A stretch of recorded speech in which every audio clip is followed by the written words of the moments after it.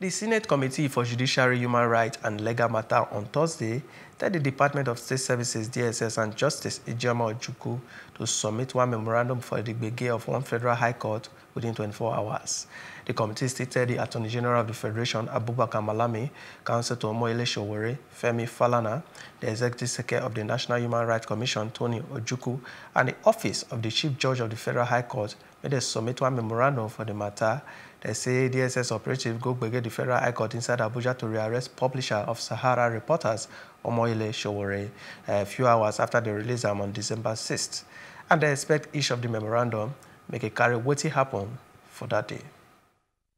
What we resolve to do, however, as a committee, because we still have to report back to the Senate,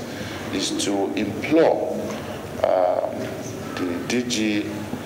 uh, DSS, uh, the Solicitor General, and Permanent Secretary, Minister of Justice, the ES National Human Rights Commission,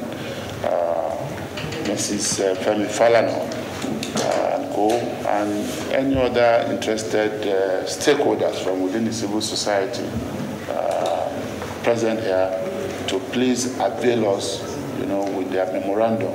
you know, uh, within the next 24 hours. We will really appreciate that because we have to do a report uh, for the Senate and the fact that all of you have, uh, I mean, chosen to be here to honor this invitation shows that we all mean well for this country.